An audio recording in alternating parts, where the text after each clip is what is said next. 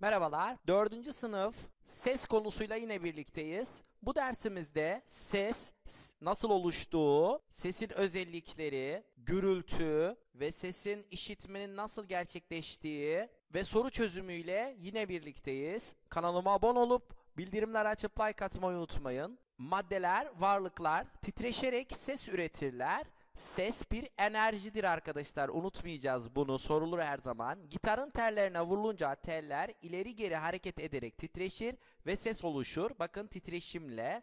Yine flütün üfleme sonucunda hava titreşimiyle etkisiyle yine ses oluşur. Davulun gergin zarı titreşince yine ses meydana getirir arkadaşlar. Birçok canlıda ise ses, ses tellerinin titreşmesi sonucu oluşur. Örneğin gırtlağımızdaki ses telleri akciğerlerimizden gelen havanın etkisiyle titreşerek bizim sesimizi oluşturur. Sesler birbirinden ayıran 3 tane özelliği vardır. Bunlar şiddeti, yüksekliği ve tınısıdır arkadaşlar.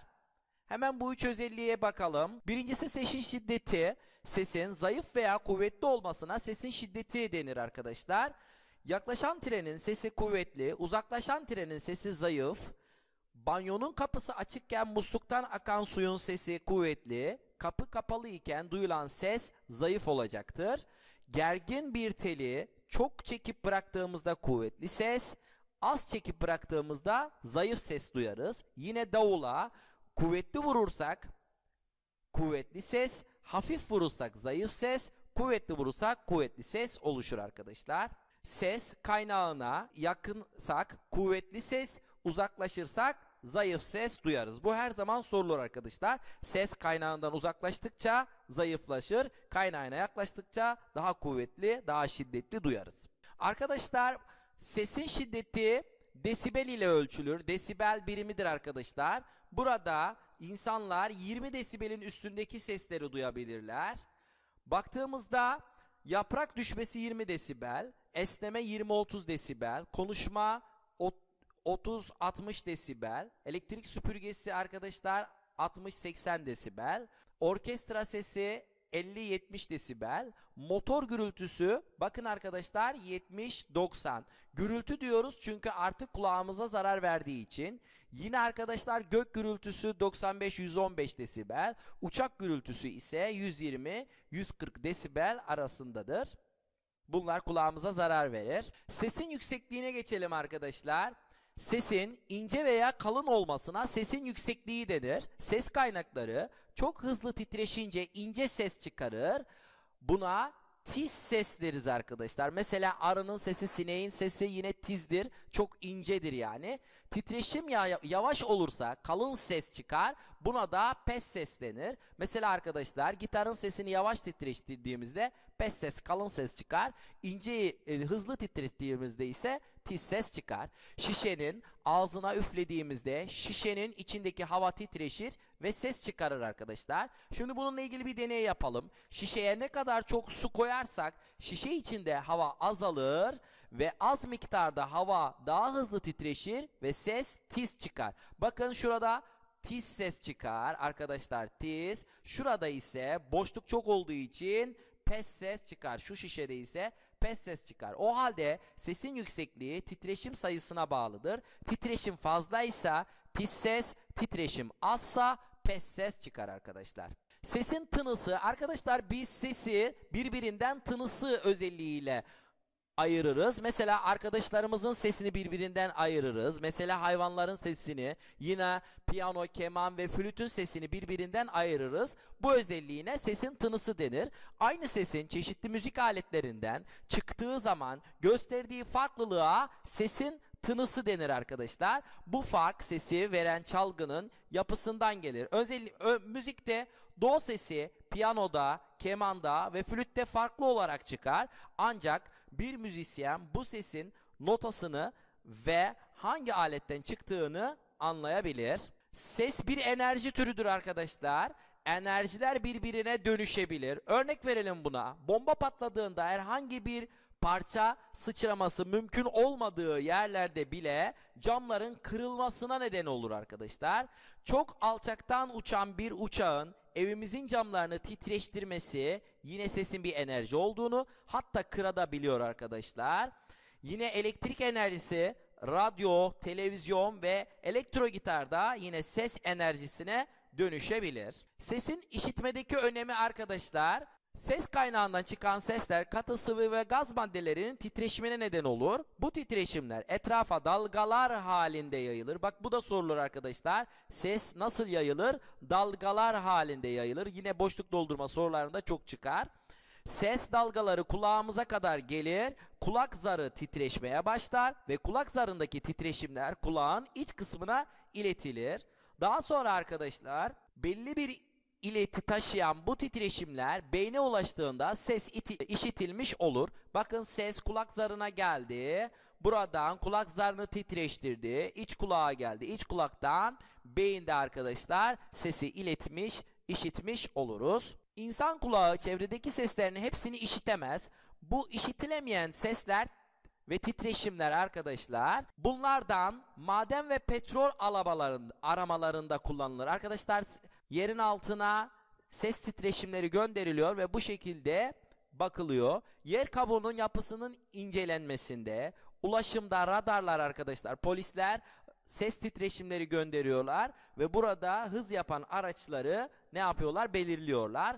Tıp alanında ultrason arkadaşlar yine ses dalgaları vücuda gönderilip buradaki organlar belirlenmiş oluyor. Burada arkadaşlar yine hamile kadınların bebeğinin olup olmadığı, yine böbrek taşları, yine ses dalgalarıyla kırılabilir. Denizcilikte sonar cihazı ile deniz derinliğinin ölçülmesinde yararlanılır. Yine balık olup olmadığını sonardan gönderilen ses dalgalarına bakarak balık olup olmadığı anlaşılır. Doğuştan ya da daha sonra meydana gelen işitme yetersizliğine seslerin duymayı engeller arkadaşlar. İşitme engelli bireylerin kullandığı işitme cihazları çevreden topladığı sesleri yükselterek kullanıcının kulağına iletir arkadaşlar. Cisimleri titreştirmek için fazla enerji harcarsak şiddetli ses, az enerji harcarsak zayıf ses işitiriz arkadaşlar. Yine işitme cihazları da sesin şiddetinin değiştirebilme özelliğinden yararlanılarak yapılmıştır. Böylece ihtiyacı olanların işitme yetisini arttırır. Arkadaşlar şurada kulağa takılmış görüyorsunuz ses cihazı. Bazen sesin şiddetini arttırmak isteriz. Toplantıda, kalabalık alanlarda, pazarlarda sesin şiddetini arttırmak için megafon ve mikrofon ile arttırılır. Bunlar da sorulur arkadaşlar. Sesin daha iyi duyulmasını sağlar. Arkadaşlar normal sesin yayılması bu şekildeyken megafondan sesin yayılması bu şekildedir. Bakın megafon ile sesin bir doğrultuda yayılması sağlanır ve ses daha uzaklardan da duyulabilir. Bazı hayvanlar insan kulağının duyamadığı sesleri işitebilir. Örneğin arkadaşlar kümes hayvanları, atlar ve köpekler hafif şiddette depremler bile işitebilirler. Yunusların işitme duyuları çok gelişmiştir. Bu nedenle bizim duyamadığım, duyamayacağımız sesleri duyar ve bazı tehlikelerden daha önce haberdar olurlar. Ses de çevreyi kirletir. Arkadaşlar ses gürültü de çevreyi kirletir. İstenmeyen her sese gürültü diyoruz arkadaşlar. Bu da sorulur her zaman.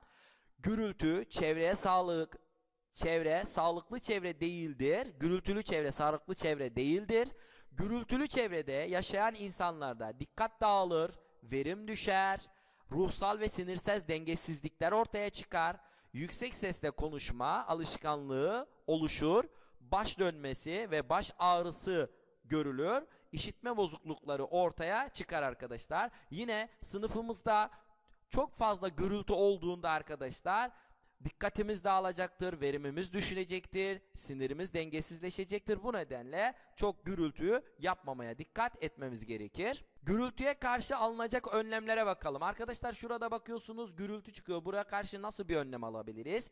Yeni teknolojiler kullanarak gürültüsüz az alet ve makineler üretebiliriz. Yani bu daha az gürültü çıkarılan makineler üretilebilir. Mevcut makinelerde gürültü en aza indirilebilir. Yine gürültülü atölye ve fabrikalar şehir dışına çıkartılabilir arkadaşlar. Özellikle bu atölyeler ve fabrikalar çok gürültülü fabrikalar şehir dışında kurulmalı. Trafik gürültüyü azaltmak için sistemlerin işlevlerini yapıp yapmadığı kontrol edilebilir. Arkadaşlar yine gereksiz yere korna çalmak ne yapacaktır? Gürültü oluşturacaktır. Binaların yola bakan bahçeleri ağaçlandırılabilir arkadaşlar. Yine ağaçlar gürültüyü azaltır. Ses yalıtımı ile ilgili teknolojik ürünler gün içerisinde geliş, gün geçtikçe gelişmektedir. Yakın gelecekte daha yaygın kullanılmaya başlanacaktır. Yine evlerde arkadaşlar ses yalıtımı yapılmaya başlandı.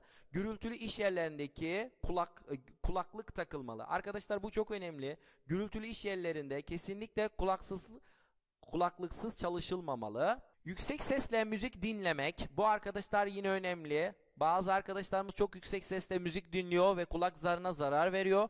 Çok gürültülü yerlerde bulunmak sağlığımıza zarar verir arkadaşlar. Otobüs dolmuş gibi insanların toplu bulunduğu yerlerde yüksek sesle konuşmamak, Walkman dinliyorsak sesini dışarı gürültülü olarak sızdırabileceği düşünerek kısık sesle dinlemeliyiz arkadaşlar. Sınıfımızda öğretmen veya arkadaşımız konuştuğunda onu dinlemek, yerinde ve zamanında konuşmak sınıf ortamındaki gürültü kirliliğini önleyecektir arkadaşlar. Bu da önemli. Uyarı arkadaşlar çok şiddetli sesler kulak zarımızı yırtabilir.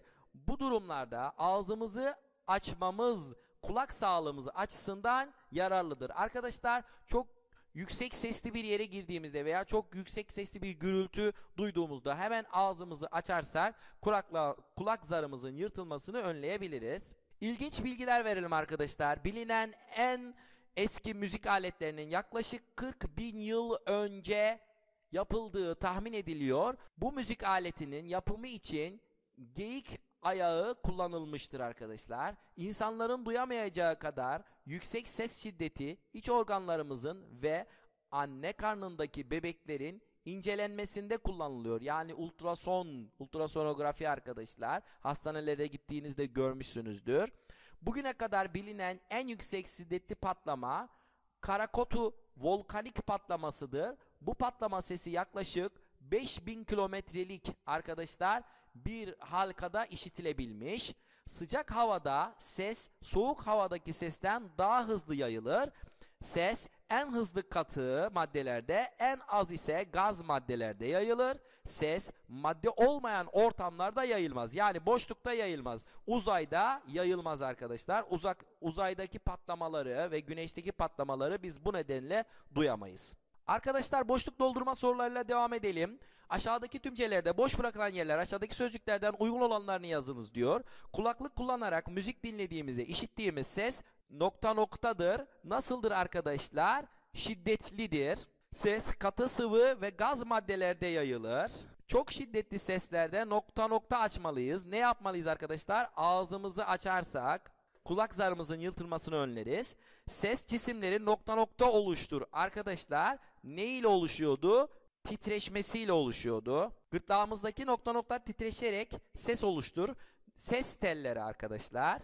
Ses kaynağına yakınsak sesi şiddetli duyarız. Şiddeti artar. Ses nokta nokta halinde yayılır. Nasıl yayılıyordu arkadaşlar? Dalgalar halinde. Bunlar yazılıda da sorulur arkadaşlar. Ses kirliliği insan sağlığını ve çevreyi olumsuz etkiler. Elektrik enerjisi radyoda ses enerjisine dönüşür. Ses kaynakları çok hızlı titreşince ince ses oluşur arkadaşlar. Yavaş titreyince de kalın yani pes ses oluşuyordu. Arkadaşlar doğru yanlış sorularla devam edelim. Cisimler titreşerek ses üretir. Doğru. Ses kirliliği işitme ve ruh sağlığımızı olumsuz etkiler. Doğru. Ses kaynağından uzaklaştıkça sesi şiddetli duyarız. Yanlış daha az duyarız arkadaşlar.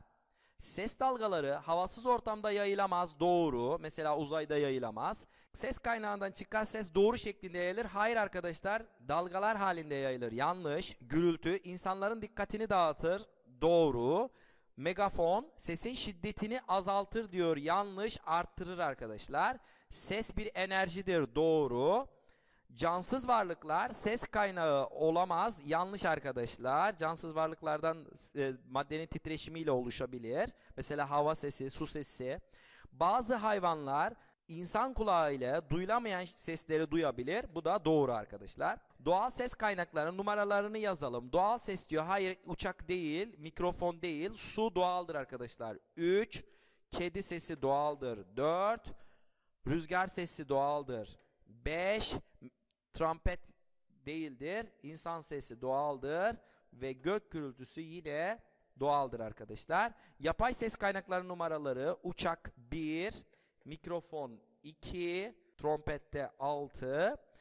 Sizi rahatsız edebilen ses kaynaklarının adları arkadaşlar uçak sesi 1 ve gök gürültüsü, e, trompet sesi 6 ve gök gürültüsü 8 bizi rahatsız edebilir. Ultrason arkadaşlar sesin bir cisme çarpıp geri dönmesiyle görüntü elde etme aracıdır. Tıpta da kullanılır arkadaşlar. Bakın burada odaklı şok ses dalgaları buradaki taşları, böbrek taşlarını şurada gördüğünüz gibi kırmış. Yine organ görüntüleri ses dalgalarıyla ultrasonla elde edilir. Sorulara geçelim. Yukarıdakilerden hangisi yapay bir ses kaynağıdır? Arkadaşlar su sesi doğal, doğal, doğal. Bakıyoruz doğal yine su sesi. D şıkkı ise yapay, radyodan gelen sesse yapaydır arkadaşlar. Bir cisimden ses çıkarmak isteyen Buse bunun için ne yapmalıdır arkadaşlar? Cisme dokunmalıdır, cismi hareket ettirmelidir, cismi titreştirmelidir. Evet arkadaşlar, titreşim yoluyla oluşur. Cevabımız C şıkkı. Gitar hangi türden bir müzik aletidir? Tellidir arkadaşlar. Bakın telleri var. Telli bir ses çalgıdır B şıkkı. Gaye şişelere farklı seviyede su doldurarak bir müzik aleti yapmıştır. Şişelere üflediğinde basit bir melodiler ça- çalabilmiştir. Gaye neyin titreşmesi sonucu ses elde etmiştir? Arkadaşlar burada havanın titreşmesi sonucu ses elde edilmiştir. Cevabımız B şıkkı. Hayvanlardan hangisi gözleri görmediği için yolunu ve avını çıkardığı sesler sayesinde bulur? Arkadaşlar bu yarasalar bu şekilde bulur. Cevabımız A şıkkı. Nokta nokta sesin şiddetini arttıran bir araçtır. İfadesini tamamlamak hangisinin uzarı? Hangisi mikrofondu arkadaşlar? Cevabımız B şıkkı. Mıstık Fenci YouTube kanalına abone olup like atmayı unutmayın. Beni dinlediğiniz için teşekkürler arkadaşlar.